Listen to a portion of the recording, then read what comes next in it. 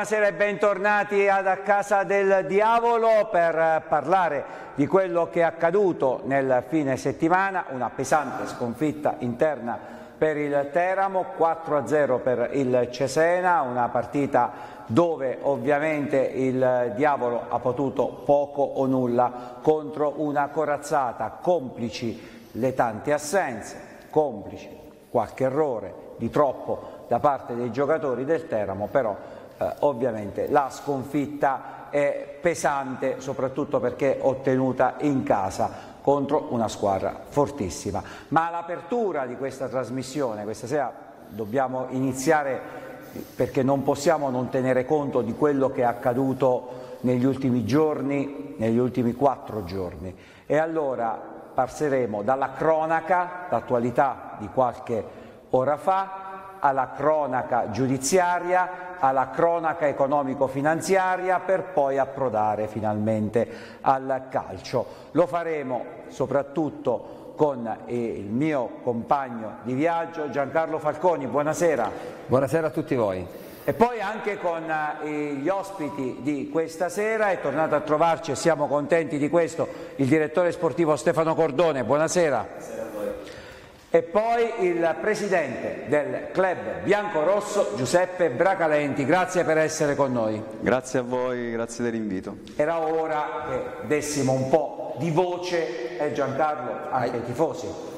Ai tifosi veri, no? I tifosi che sono abituati a a soffrire, a vivere il Teramo Calcio 24 ore al giorno, a credere in un progetto sportivo, un progetto futuribile. Ecco, i tifosi hanno il diritto di poter di sapere, di sapere soprattutto la verità, ma anche di poter continuare a sognare. Certo, però partiamo da, uh, dalla notizia dell'ultima ora, la diamo perché è una notizia di cronaca ma che coinvolge il mondo del calcio. Oggi pomeriggio si stava giocando una partita del campionato Under 19 a Bellante. Giancarlo, la partita era Bellante-Torrese? Torrese-Villamattone. Ah, Torrese eh, cerchiamo di coprire, ovviamente non parleremo del, del ragazzo, dell'identità del ragazzo, parliamo di ragazzi ovviamente minorenni però c'è stata un'azione di gioco, un'azione di gioco che può capitare in tutti i campionati ovviamente, c'è stato un, uno scontro tra due, due giocatori, eh, una testata forte,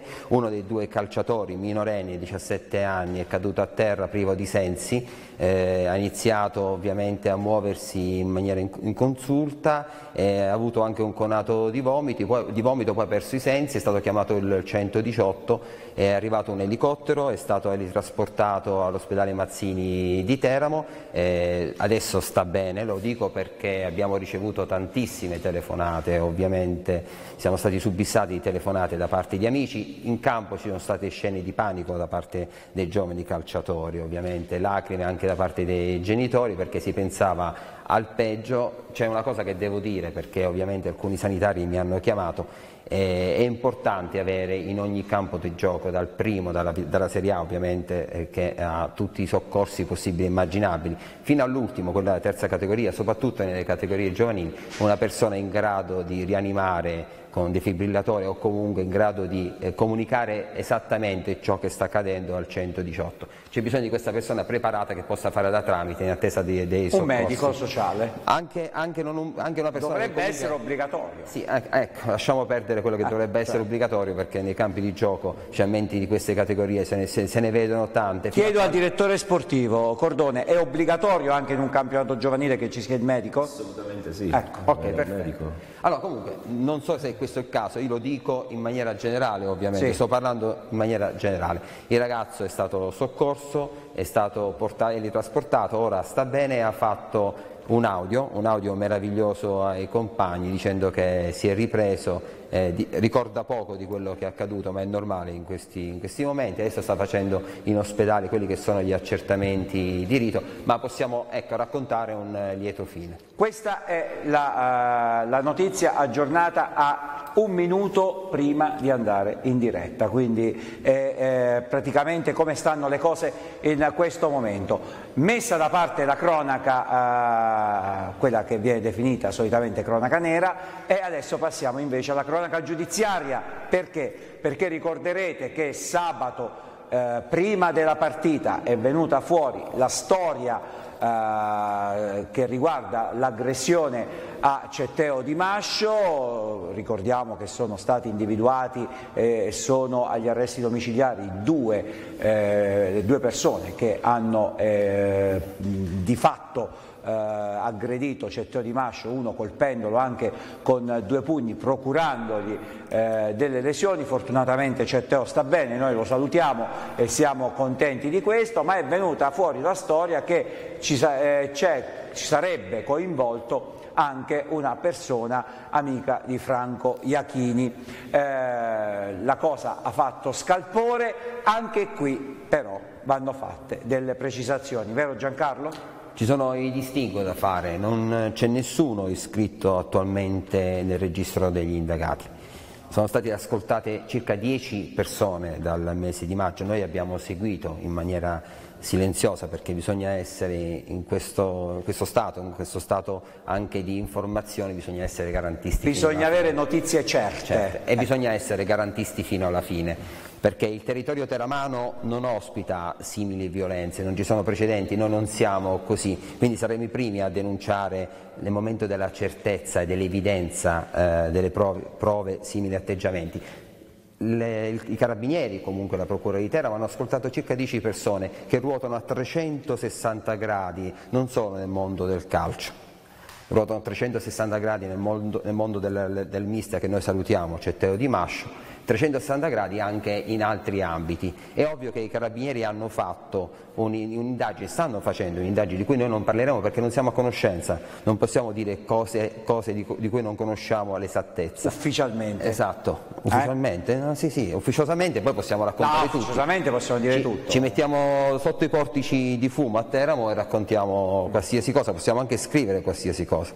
Ora il problema è prendendoci la responsabilità, il problema è che hanno ascoltato 10 persone, tra cui anche questo imprenditore che è stato, che è stato citato, nessuno è ancora indagato anche perché l'imprenditore, così come le altre nove persone, sono state ascoltate senza la presenza dell'avvocato, esatto. quindi significa che sono stati ascoltati come persone informate sui fatti e non come indagati. Nel momento in cui poi ci sarà un avviso di garanzia e ci sarà un interrogatorio con la presenza di un legale, vuol dire che lo status di quella persona o di quelle persone, perché potrebbero essere anche più di una, viste come tra virgolette i mandanti di, questo, di questa aggressione cambierebbe e lì da uh, persone informate sui fatti si passerebbe a indagati. Ma qui su questa storia, prima di aprire poi la pagina di, eh, eh, di economia e finanza, eh, su questa storia vorrei sentire il presidente del club biancorosso perché All'inizio la tifoseria si è risentita anche di come era stata trattata questa vicenda, eh, dando un po' le colpe a, ai tifosi del Teramo, ai quali tutto si può dire, meno che questa sia eh, un'azione fatta da tifosi del Teramo, sia che siano quelli del club biancorosso, sia che siano quelli del club Spartaco Piotto, che quelli della tribuna o gli ultras della curva. Nessuno farebbe una cosa del genere. Dico bene Bracalenti? Assolutamente sì, innanzitutto mi fa piacere mh, sapere che il, che il recupero del, del dottor Di Mascio prosegue nel migliore dei modi. No, c'è Teo, sta bene, fortunatamente sta bene. Benissimo, quindi mi fa, mi fa molto piacere. Sì, noi eh, all'indomani di questo bruttissimo episodio eh, abbiamo ritenuto opportuno intervenire pubblicamente in quanto su alcuni siti era comparsa appunto l'allusione eh, subito diciamo eh, che andava girando insomma, sui, sui, vari siti web che ehm, questa aggressione potesse essere diciamo, anche parte della, eh, da parte della tifoseria. Eh, cosa che abbiamo, ci siamo sentiti di smentire mh, categoricamente come club biancorosso, ma riteniamo anche per nome e per conto di, di tutta la tifoseria teramana, anche perché se si conosce un po' la piazza, questa piazza, la storia di questa tifoseria, si sa benissimo che eh, non, sono, non, sono, gesti ed episodi eh, consoni appunto che eh, non, non, non, so, non, sono mai accaduti questi episodi a Teramo, eh, soprattutto di questa violenza, con questa, con questa, cattiveria, con questa cruenza, insomma. Quindi questo ci è, ci è, sembrato doveroso, ci è sembrato doveroso perché alcune allusioni portavano appunto a eh, identificare come tifosi l'autore di questo gesto, insomma, di questo orribile gesto. Beh, i, due, i due che hanno aggredito Di Mascio tutto sono meno che tifosi del Teramo, eh, mi sembra di poter dire.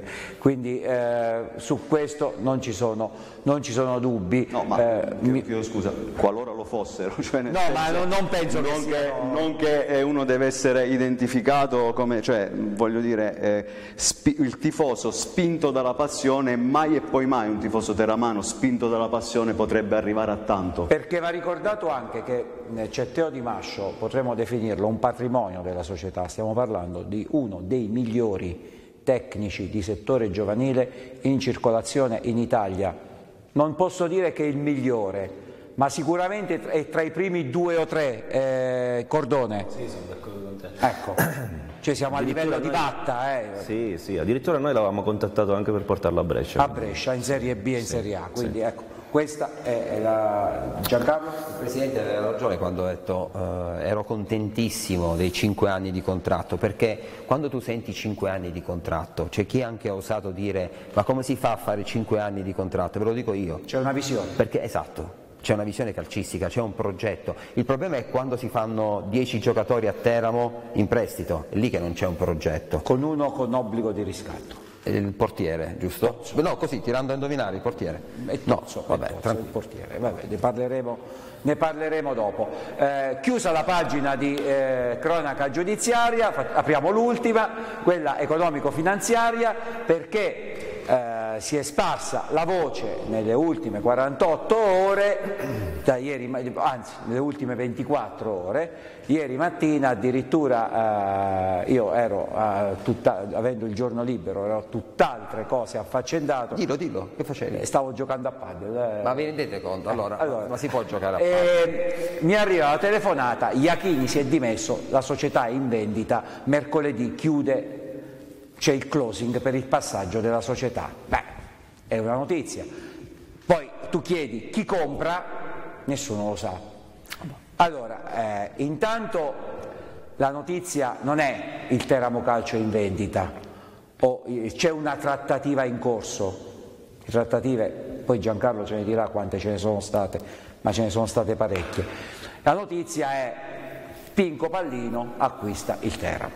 Punto, basta.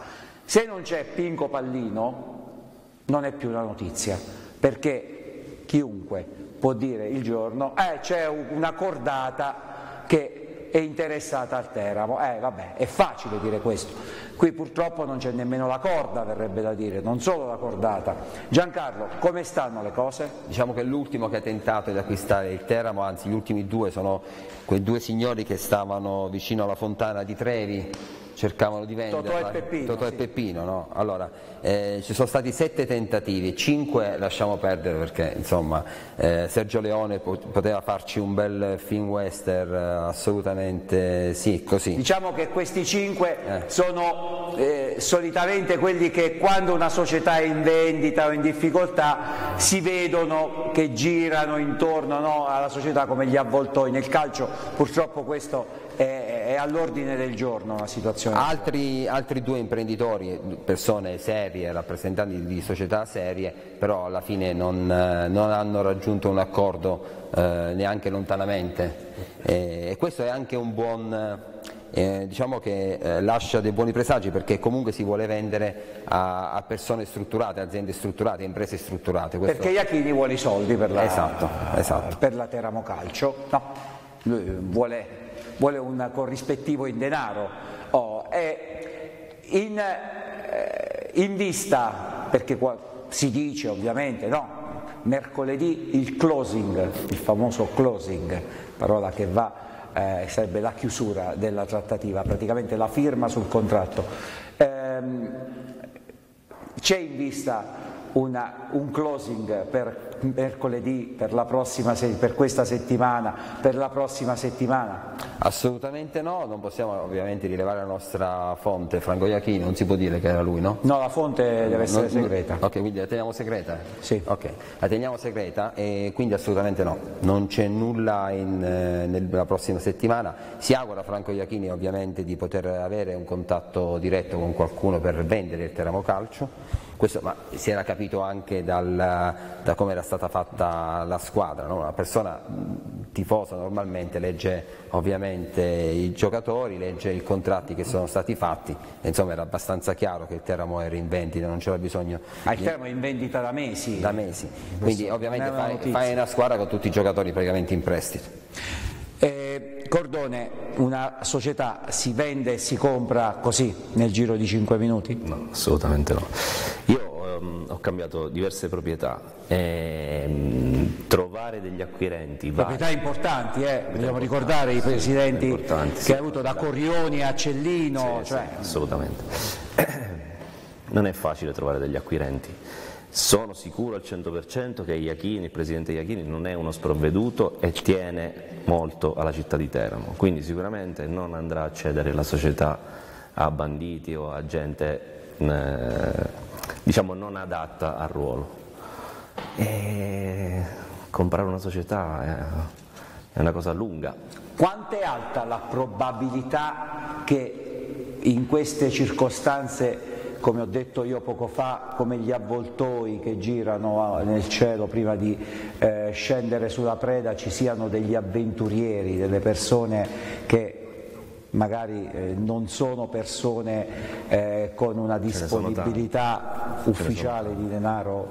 Eh? Ce ne sono proprio tanti, anche per avere un minimo di visibilità in tanti cercano di farsi avanti e far vedere che ci sono, ma poi in realtà sono... Take away, mordi e fuggi, e cioè, fa, si fanno vedere... Mi ricordate anche Manenti che è passato da Brescia, poi è andato a Parma? Sì, sì, sì, ma noi a Teramo potremmo farne Teramo. tanti di nomi. Teramo Due su tutti, fratelli Paoloni. Gli abbiamo fatto inaugurare lo stadio. Gli abbiamo fatto inaugurare lo stadio, quindi... Ricordiamoci. Figuriamoci, no, ecco, eh, dai fratelli Paoloni in poi abbiamo ricordato... Io li chiamavo i fratelli Caponi, ti ricordi?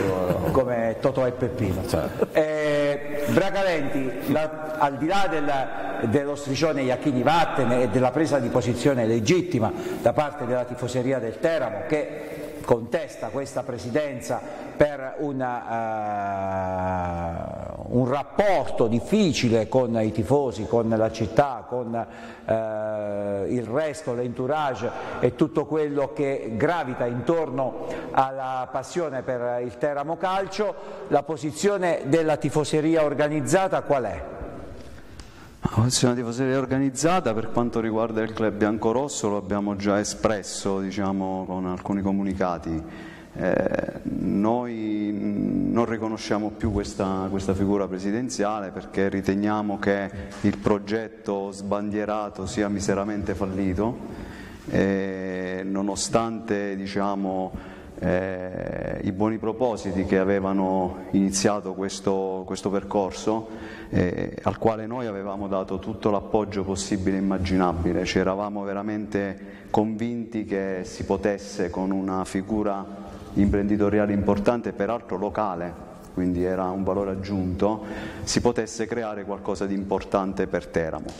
Eh, ben presto ci siamo accorti che purtroppo non era così e quindi, come giusto che sia, eh, abbiamo iniziato a capire che non c'erano più progetti, non c'era più un futuro e per noi il futuro della Teramo Calcio è, è la prima cosa. Però mi permetta questa domanda, io che vado allo stadio ormai da un po' di anni, la prima volta che sono andato allo stadio a Teramo era il 74, quindi eh, eh, prima sono, ero andato però a vedere l'Inter, prima di andare a vedere il Teramo io sono andato a vedere l'Inter e ehm, volevo chiederle, ricordo, no? Cerulli vattene, Malavolta vattene, Campitelli vattene, adesso Iachini vattene, e gli ultimi quattro presidenti del Teramo praticamente sono stati invitati ad andarsene. Ma perché c'è questo rapporto così difficile con i primi tre nato dopo anni di eh, presidenza, no, mm, perché eh, dopo un po' di anni eh, è montata la contestazione, soprattutto quando queste, queste presidenze erano in difficoltà nell'allestire una squadra. Con Iachini è cominciata subito, la differenza è questa, però il risultato è lo stesso. Allora, Malavolta vattene, eh, Iachini vattene, Campitelli vattene, Cerulli vattene, non hanno la stessa matrice, però il risultato è lo stesso. È, è possibile che è così difficile avere un rapporto tra la tifoseria e la presidenza? Ma non è che è difficile, partiamo dal presupposto che il calcio è sentimento, il tifoso vive di sentimenti. E anche nella vita, no? eh, con la moglie eh, la ami, sposato, fatto i figli, però puoi anche avere dei problemi, delle questioni, quindi non per questo eh, diciamo, non può accadere. Innanzitutto non accade solo a Teramo, penso al Milan che con Berlusconi lo invitavano ad andarsene dopo aver vinto no, un filotto di Coppa Morale. Però a me tifoso, eh, no, ehm, faccio un esempio, a me tifoso dell'Inter, io posso, posso, dire Inzaghi non capisci niente, vattene, oppure cacciate Inzaghi, ma non mi viene mai da dire eh, Zang vattene, cioè mm, se uno tira fuori i soldi ah, la società è sua. Eh, Vabbè però insomma eh, allora il discorso è questo, ovviamente io ho fatto questo Quella è una proprietà, perché, no? Vabbè, ho fatto questo parallelismo perché comunque non è solo Teramo una piazza, anzi, no, ma per dire Teramo, che uno... Teramo rispetto alle altre piazze è veramente un'oasi felice, cosa che ho avuto modo di dire anche io eh, al Presidente Iachini il primo, la primo giorno che ci siamo incontrati, gli ho detto se, se, se c'è un Presidente che vuole fare un progetto serio a medio-lungo termine, credo che Teramo sia una delle piazze migliori dove poterlo sviluppare. Perché? Vi ricordo che domenica la squadra dopo un 4-0 in casa è uscita tra gli applausi. Sì. Questo è importante. Meritati anche. Meritati. Poi lo, ne parleremo della partita. Meritati. Eh? Quindi... Ehm... La tifoseria mi è piaciuta tantissimo, mi sono anche emozionato. Eh. Ecco, quindi per questo la tifoseria forse a Teramo pretende rispetto. Certo. Perché? Perché lo dà. Teniamo presente che questo è un progetto, io adesso non vorrei entrare nel merito perché ormai le nostre posizioni credo siano, siano arcinote, ma ehm, noi avevamo dato piena disponibilità ad un progetto a lungo termine. Nostro, la nostra prima richiesta come tifoseria, come club, non è stata portaci in Serie B, è stata come verrà strutturato il settore giovanile il settore giovanile che è estremamente importante per società come il Teramo perché la benzina è, è quanto di più importante si possa, si possa Beh, se questa era la prima domanda la risposta, la risposta è, è, stata, stata c'è Teo Di Mascio c'è cioè Teo, il meglio. C'è Teo Di Mascio è stato quindi ci siamo posti in questo, in questo rapporto sentimentale perché io lo chiamo così perché il tifoso ripeto lavora di sentimento eh, nella piena disponibilità, quindi abbiamo ritenuto che questa figura locale ci potesse dare veramente tanto, quindi eravamo pronti a dare tutto il supporto possibile e immaginabile. Ci siamo accorti ben presto che così purtroppo avevamo riposto probabilmente delle, delle, delle false aspettative, eh, ma eh, in buona fede, perché in tanti mi dicono ma scusa prima eravate così vicini alla presidenza oggi non lo siete più. Eh, non lo siamo più ma non perché, perché noi eh, viviamo di fatti, non viviamo di, di simpatie, eh, allora partiamo col, dal presupposto che noi guardiamo i fatti, fino a quando abbiamo guardato i fatti e che ci davano un, una prospettiva importante, ripeto quando parlo di importante non parlo di Serie B, ma parlo di un Teramo che diventava finalmente la prima realtà della provincia, eh, della, della regione, la prima della provincia c'è sempre stata negli ultimi anni, ma anche della regione, in quest'anno soprattutto che c'è il Pescara in Serie C. Quindi noi ritenevamo che questo Teramo, questa figura presidenziale ci potesse offrire questo. Purtroppo non è stato più così e quindi è nata questa, questa difficoltà di rapporto. Negli anni passati purtroppo eh, è così, è così perché eh, fino a quando si inizia bene a vincere, poi eh, il contesto storico era anche diverso. Insomma, Però è anche vero, è anche Anzi, vero. Io, io, dico, e forse era meno giustificato allora sì, perché, perché non era facile allora al vecchio comunale fare calcio e prospettare un futuro perché col vecchio no. comunale che noi amiamo a dismisura più della Serie C non potevi fare, anzi già era tanto che facevi la Serie no, C. No, una volta si poteva fare oggi, anche la Serie A lì al limite. Oggi una volta, ma eh. molto, molto... Eh, una volta, una volta. volta. Però quello che le voglio chiedere è se io sono il proprietario di questa società e poi sono il proprietario e tiro fuori 10 milioni, quanti?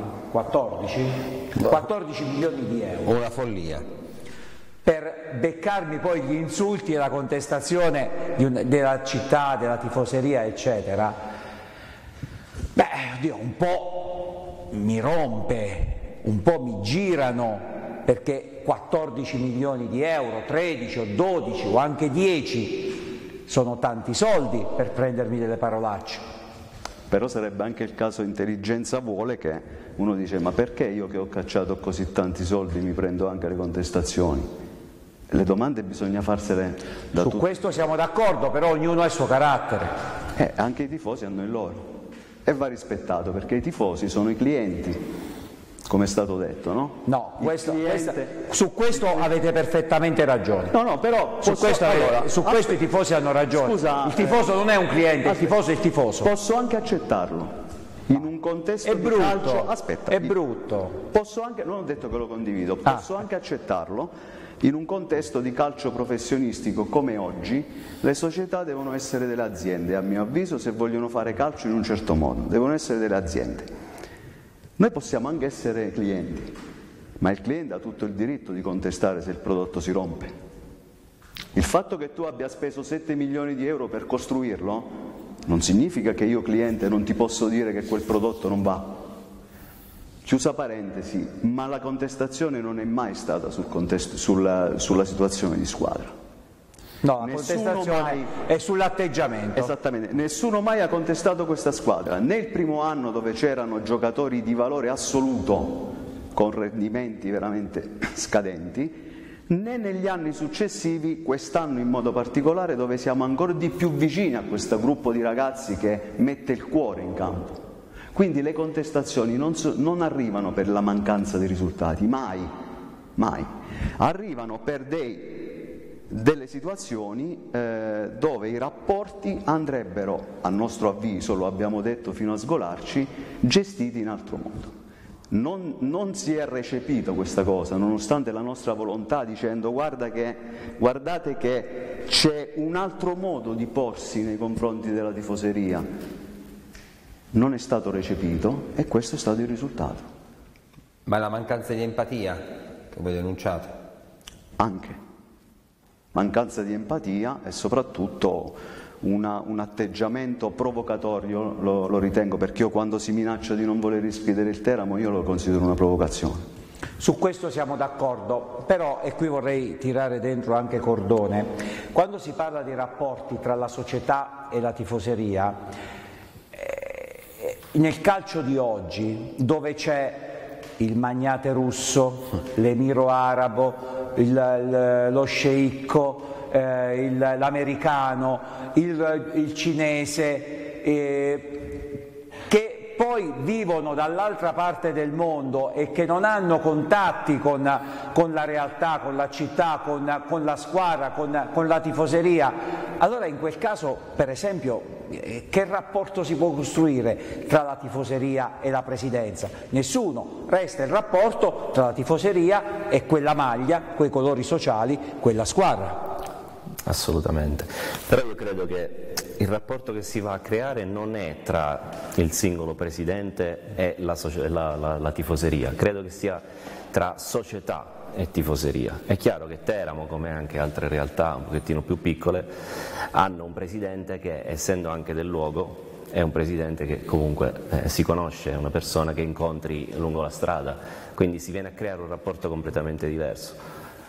Andando a parlare di grandi club, io penso che se si dovesse fare una contestazione non si fa alla singola persona, al presidente, ma si fa eventualmente alla società. Io penso che il tifoso del Manchester City, l'Emiro, non l'abbia mai no, visto. No, cioè, no. Eh? Vabbè, ma, ma, il tifoso del Manchester City come quello dell'Inter e del Milan non gli è stata mai messa in discussione la vita della propria, della propria passione.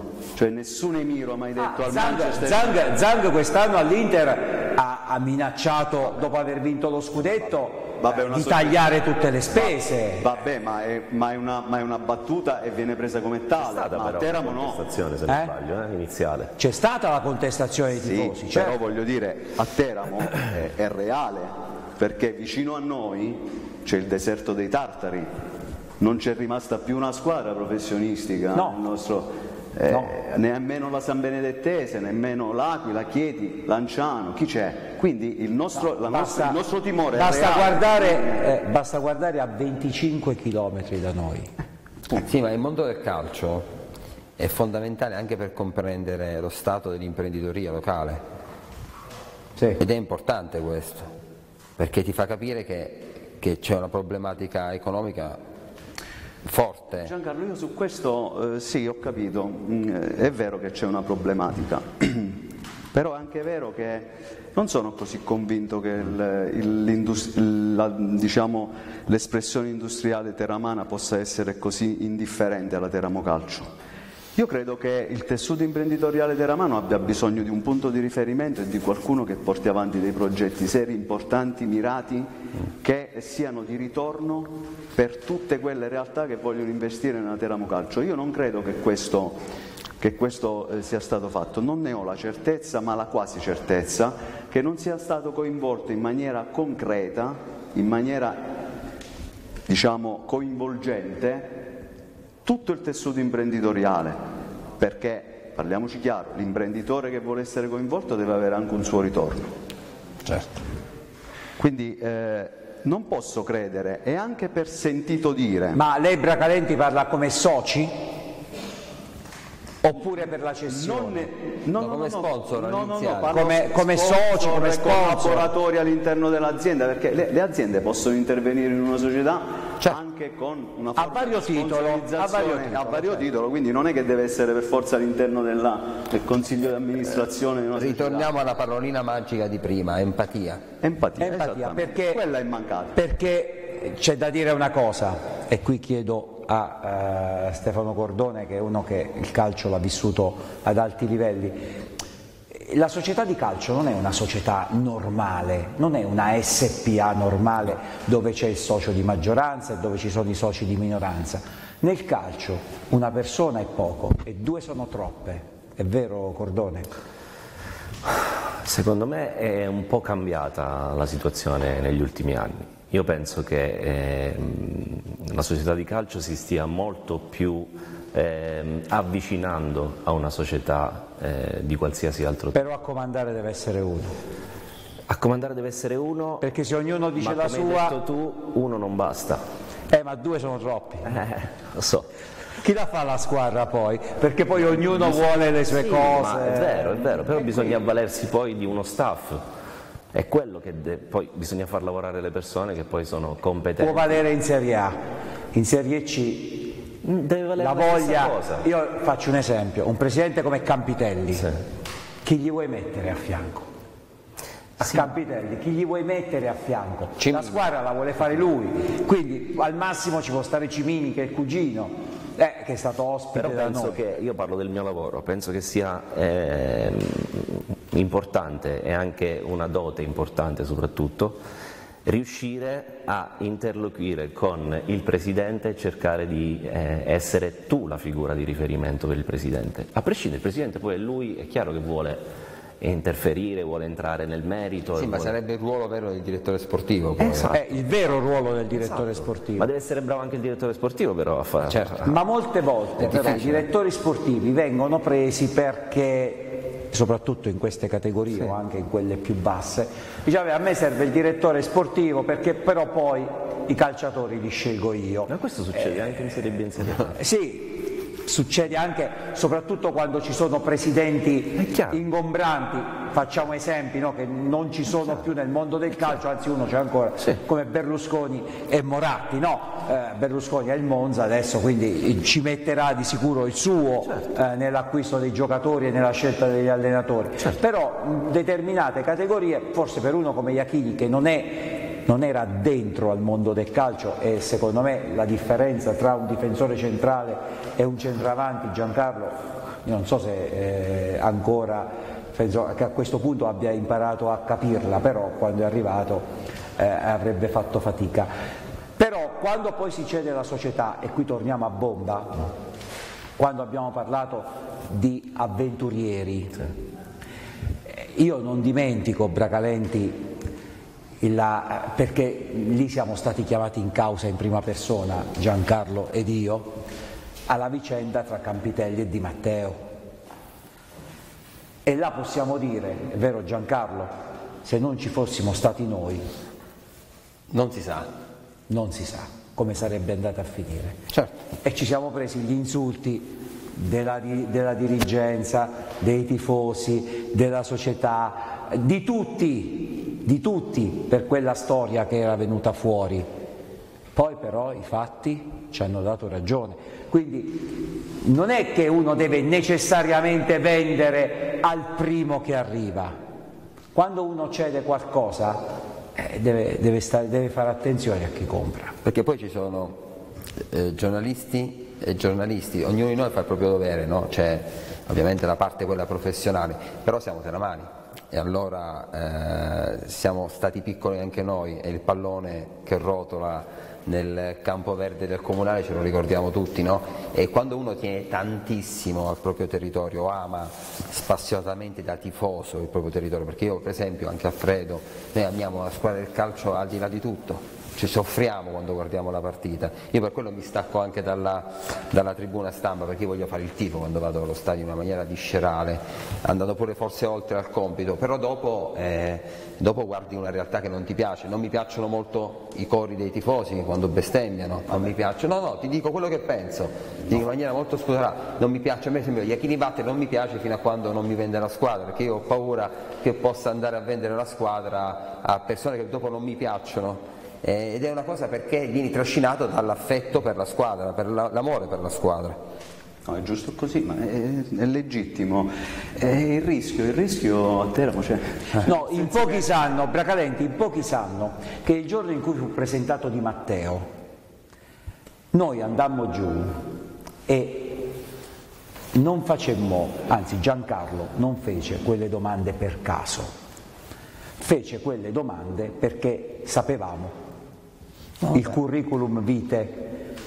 No? E di tutto rispetto, cioè nel senso sì. eh, uno va a fare l'intervista, parla con una persona e poi vieni trasportato in altri ambiti, perché non ci vuole molto a parlare con una persona, a comprendere una persona. Per me è una persona di tutto rispetto, perché non è che stiamo parlando di una persona pregiudicata o altro. No, è una persona però... che dal mio punto di vista non doveva stare all'interno di una società come quella del Teramo Calcio. Punto, Ma finito. Infatti è stato, diciamo, eh, poi abbiamo avuto l'arrivo di Iachini, quindi diciamo tutto era perfetto.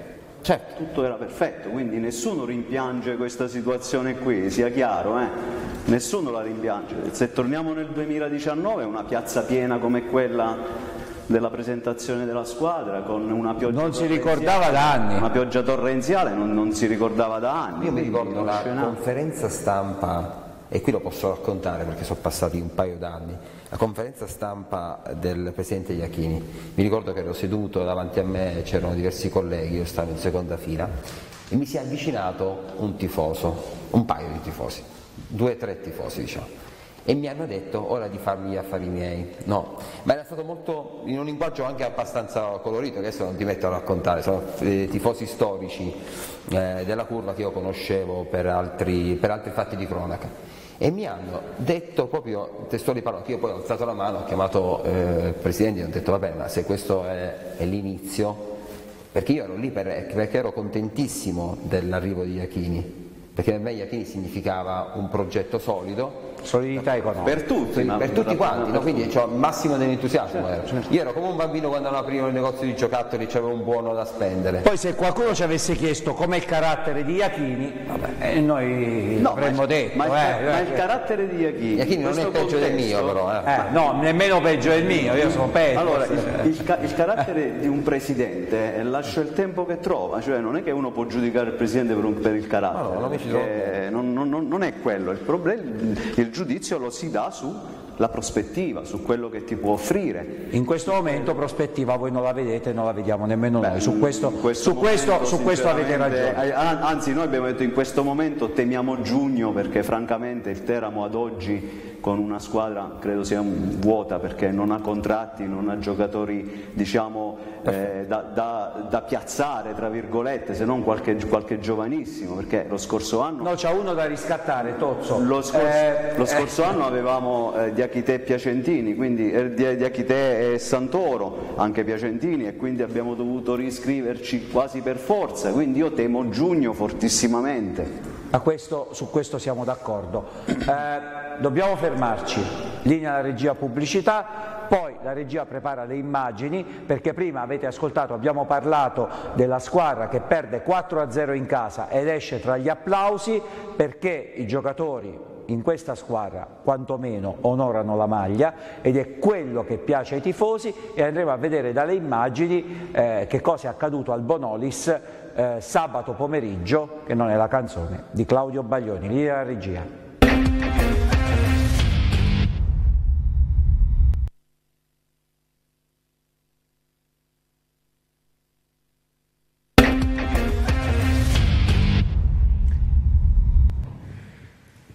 Eccoci di nuovo in diretta, eh, abbiamo detto all'inizio della prima parte che avremmo ripreso con le immagini eh, e così faremo, però prima un aggiornamento di Giancarlo, ultim'ora? Eh, di cronaca c'è stata una rapina eh, alle poste centrali di Atri, eh, sono intervenuti eh, il commissariato, gli agenti del commissariato di polizia locali, pare che tre rapinatori sono stati bloccati, fermati e arrestati.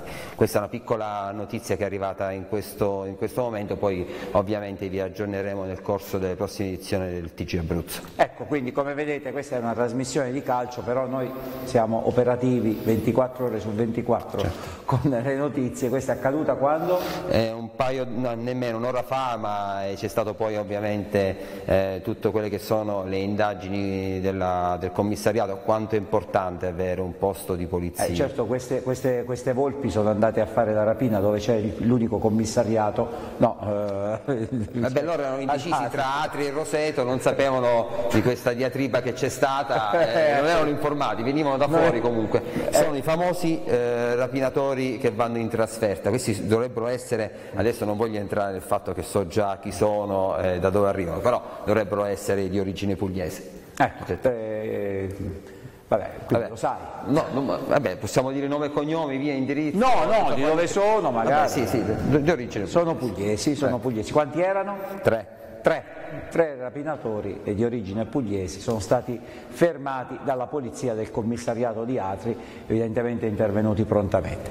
Bene, eh, questa era la notizia dell'ultima ora, adesso andiamo, prima, prima di vedere le immagini, io vorrei dare un'occhiata alla classifica tanto per lanciare poi le immagini, perché la sconfitta di, eh, di sabato pomeriggio ha sì bloccato il Teramo, che veniva da una serie di risultati utili consecutivi, però intanto non è rientrato nella zona uh, play-out, perché la zona play-out è un punto dietro e, eh, e poi eh, come vedete a 11 punti c'è il Montevarchi a 10, eh, la Fermana, la Pistoiese e il Grosseto sono a, a no, eh, la Fermana, la Pistoiese e il Grosseto a 9 punti e la Viterbese a 6 punti, 11 punti ce l'ha il Pontedera, l'Olbia e la Virtus Sentella hanno 13 punti. È preoccupante questa classifica? Eh, lo chiedo prima a Cordone e poi a Bracalenti. No, no, per me non è preoccupante assolutamente.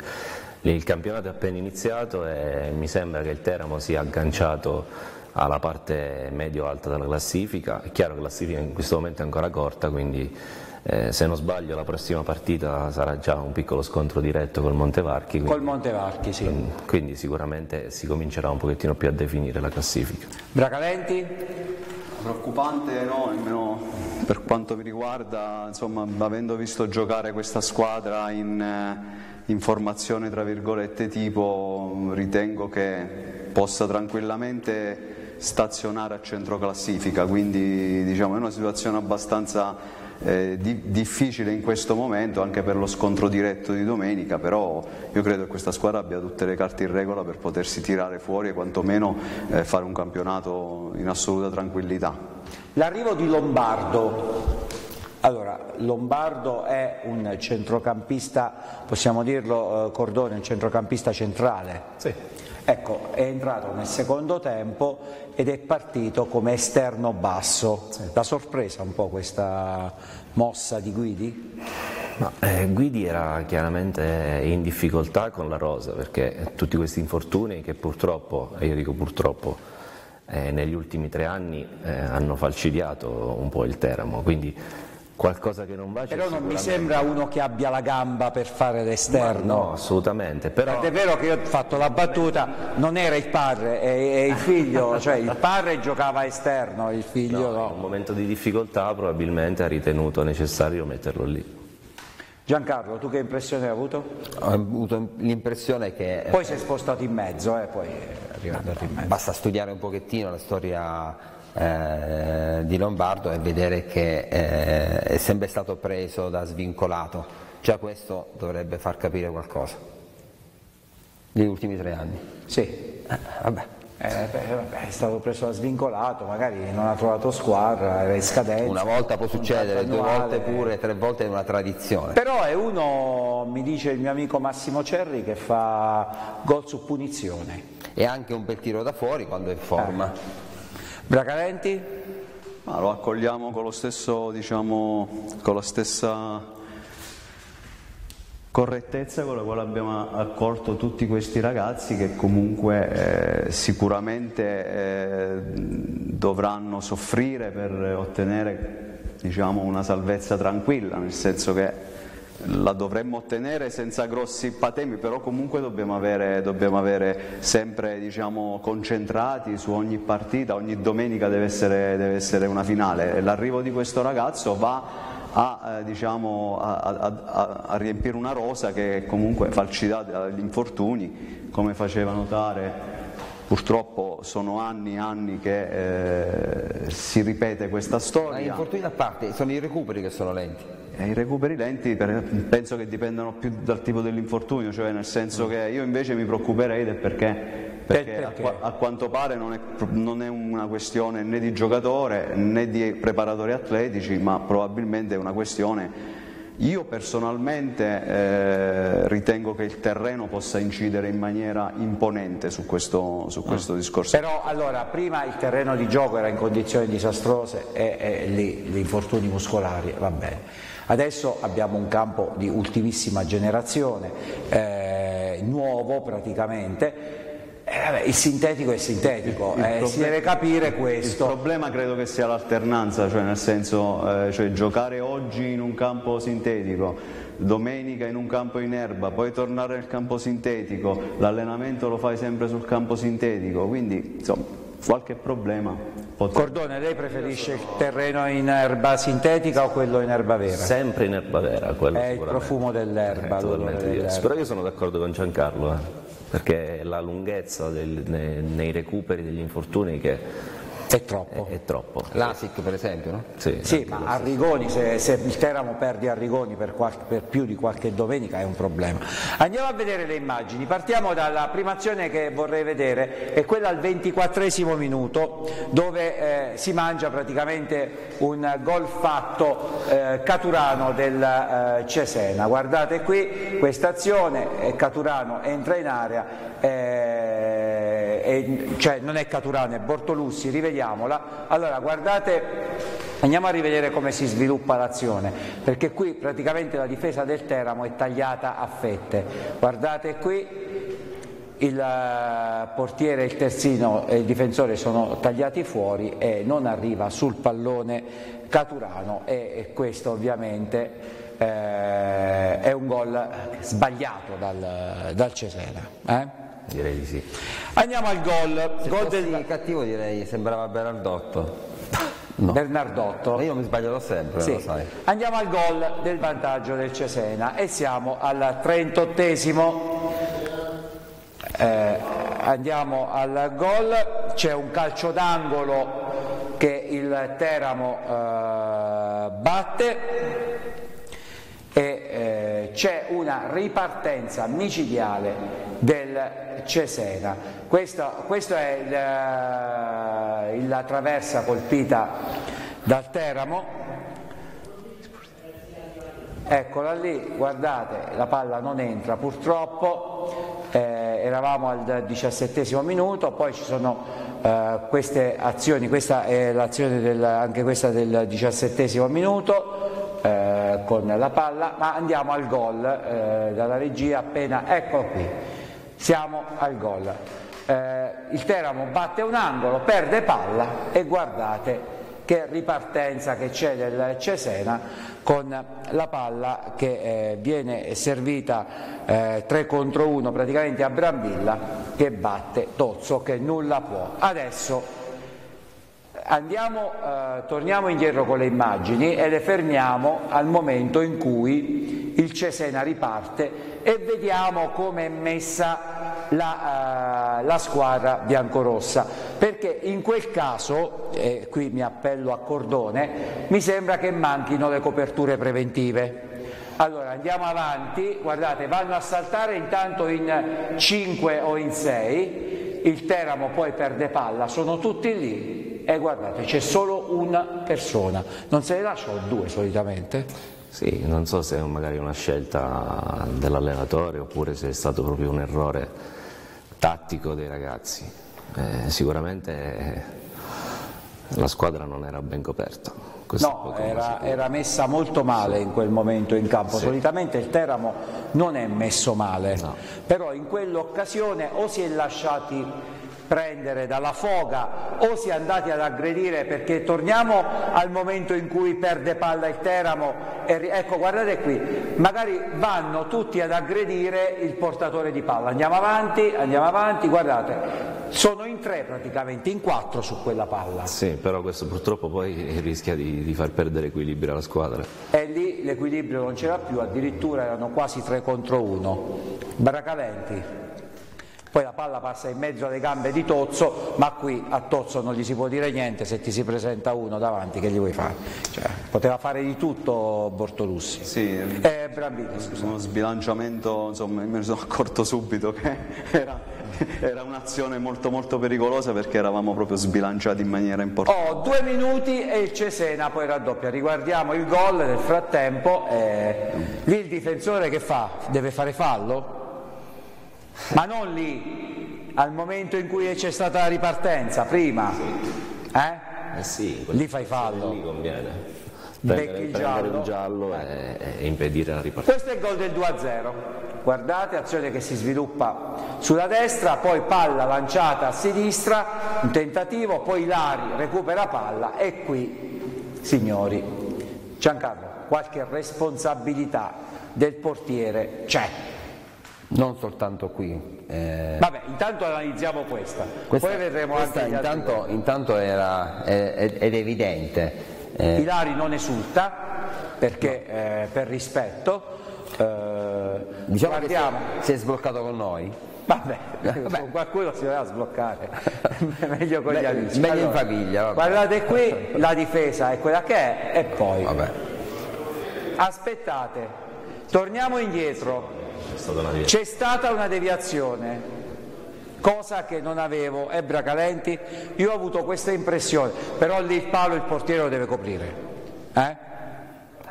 Allora, guardiamo, perché la palla cambia traiettoria, vediamo, allora, qui c'è l'errore in difesa da parte del difensore del Teramo che è Bois, Ilari si libera, andiamo avanti piano, tocca con l'esterno del piede destro il difensore del Teramo e la palla si infila in porta.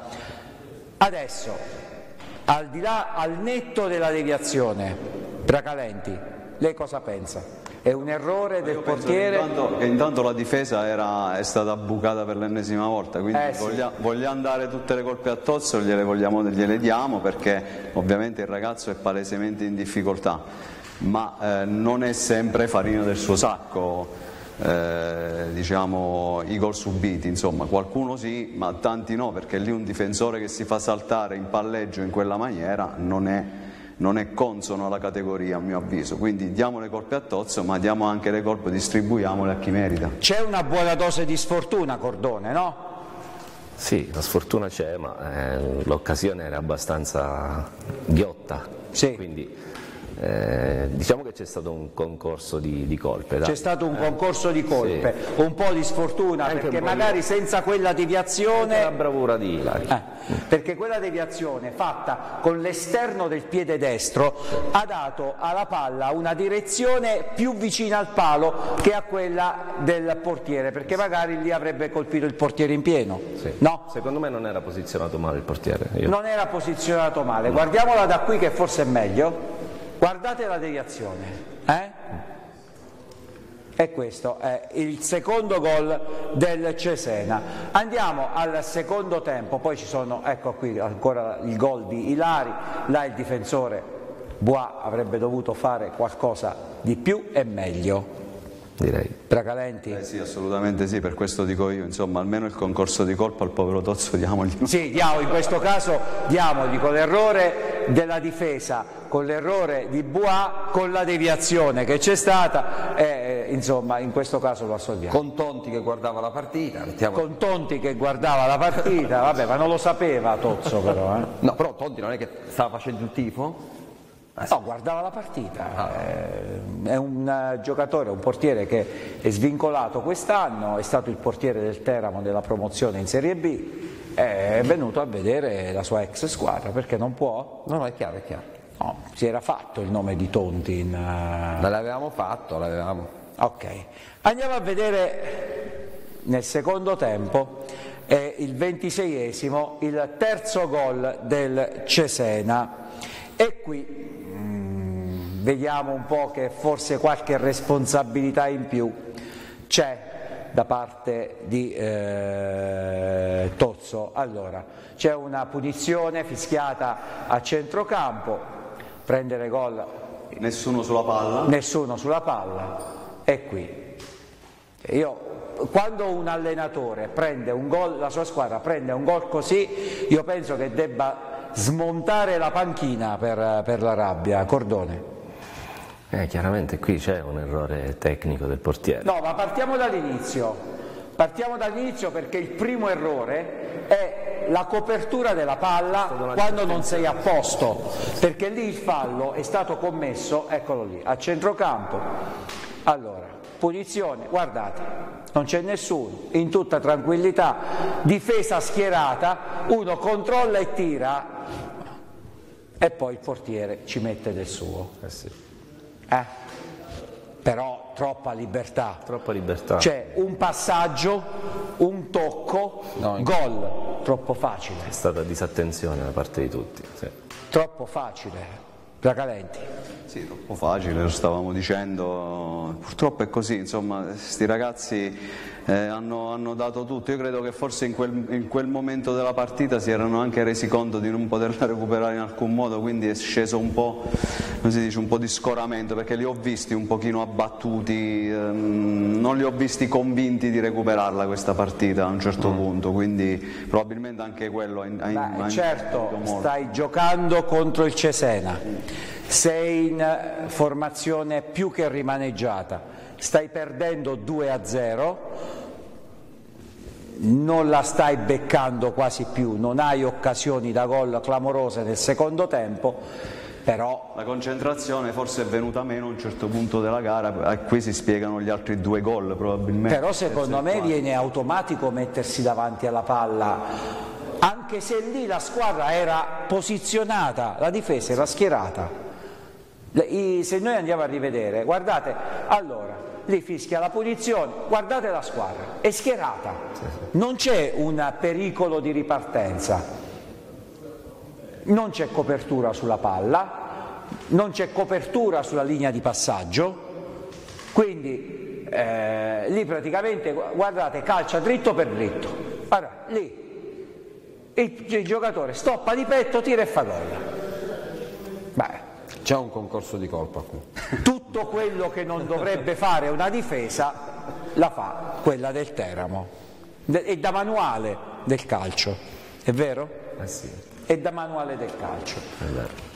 E sotto 3 a 0 eh, al 26esimo il Teramo prende gol allo scadere, il quarto gol allo scadere della partita al novantesimo praticamente e, eh, da calcio d'angolo eccolo qui, eh, anche qui insomma l'ennesimo gol preso sul calcio piazzato. Eh, è il quinto. Eh? È il quinto. È il quinto, il gol è di eh, Caturano, eh, rivediamo l'azione, blocchiamo, blocchiamo l'immagine al momento del colpo di testa, torniamo Quando indietro. una squadra così giovane. Ecco, allora il Teramo difende a zona. queste situazioni. Tu puoi anche difendere a zona, fare sì, il castello lì, però eh, poi l'uomo. Così giovane bisogna accettare queste situazioni. Io qui credo però che prendere questa partita come riferimento sia no. fuorviante e pericoloso. No, no, no, ma noi stiamo, no, no, no stiamo analizzando le azioni. No, no, in generale parlo, parlo in generale. Mancavano i parlo, cardi, in generale. Fuorviante perché comunque tu hai affrontato un Cesena eh, informazione largamente rimaneggiata, come abbiamo detto, io me la sarei giocata tranquillamente a informazione tipo, ve lo dico.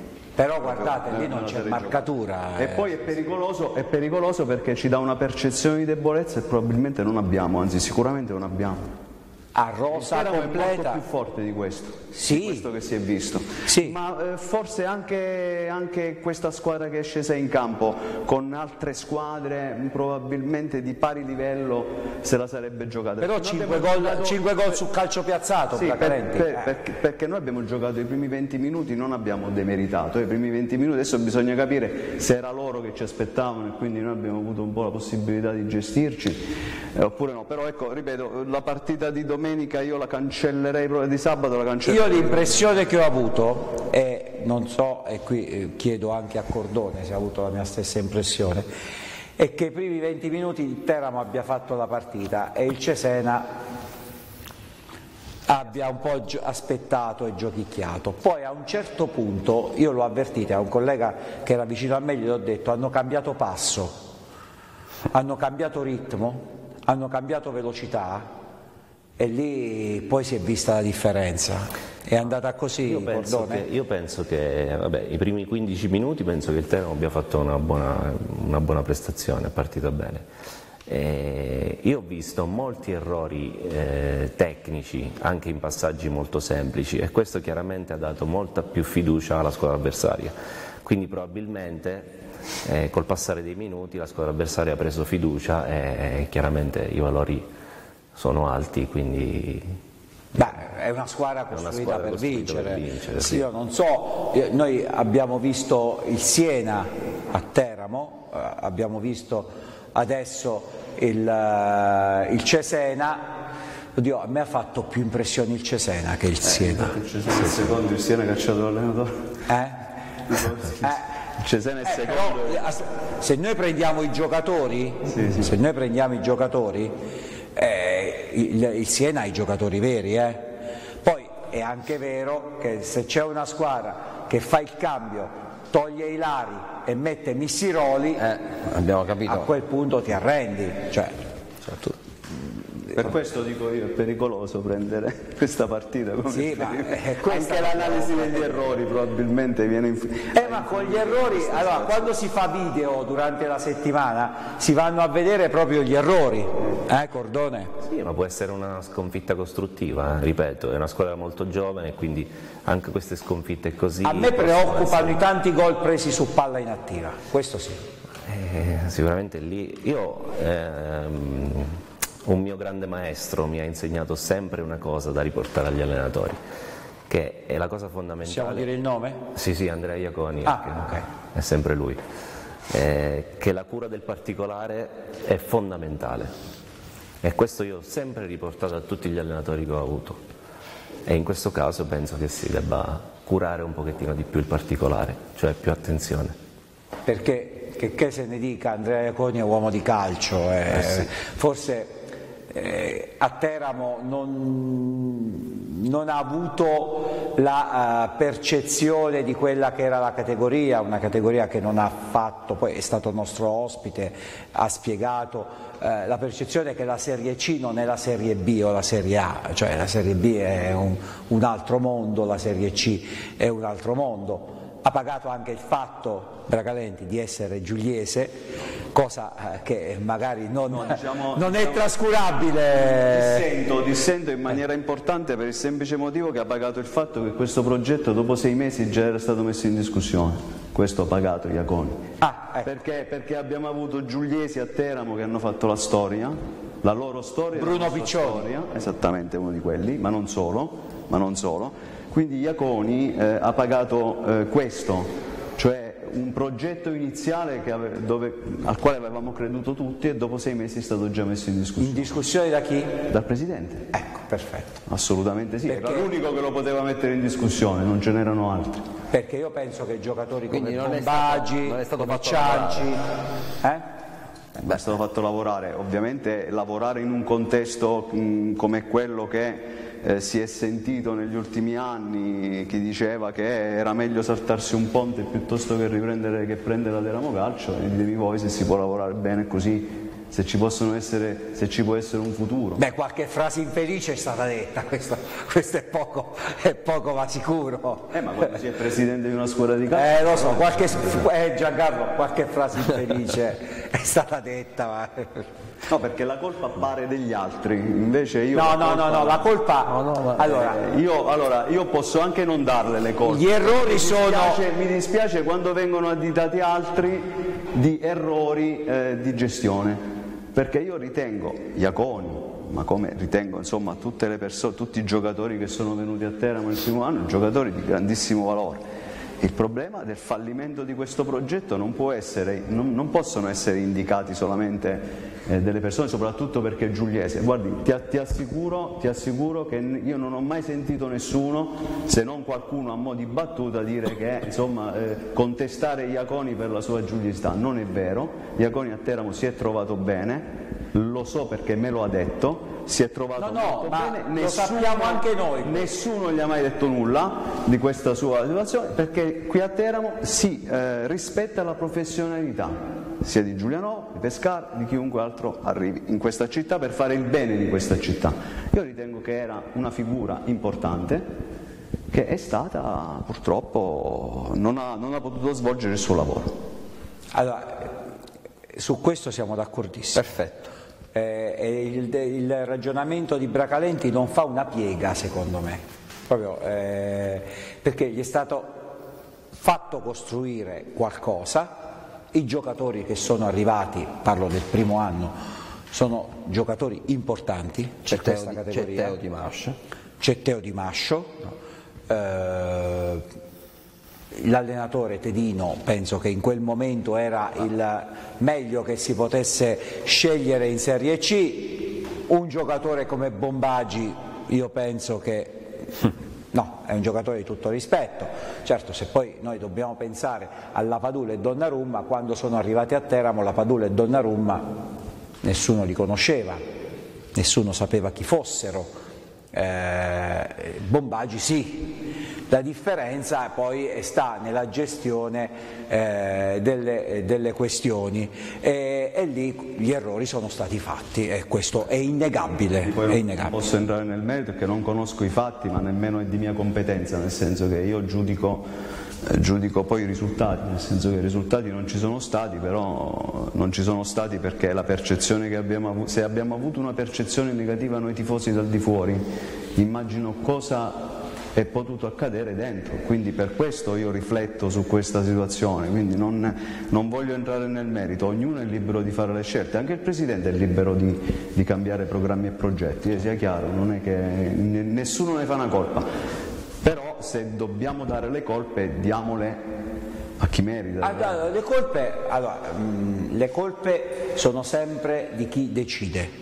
Le colpe quando c'è un progetto che fallisce sono sempre di chi decide, di chi comanda, e su questo non ci sono dubbi, anche sulla vicenda no, famosa, ormai triste, del 2015, le colpe sono di chi decideva, cioè Campitelli, non, eh, non ci sono dubbi su questo e, e, in questo caso le colpe sono di Franco Iachini perché era lui il referente, il responsabile eh, della società. Eh, penso che ci sia poco da dire Giancarlo. Eh? Non c'è nulla, nulla, da dire, io credevo molto nel progetto, è, sono molto d'accordo con uh, Bracalenti, per me eh, Iaconi era una garanzia assoluta, sì, una garanzia. Andrea Iaconi rappresenta, per chi vive il mondo del calcio e ha visto anche altre categorie, eh, Andrea Iaconi rappresenta una garanzia perché è uno che sa di calcio, che eh, conosce i giocatori, che eh, vive il mondo del calcio a 360 gradi,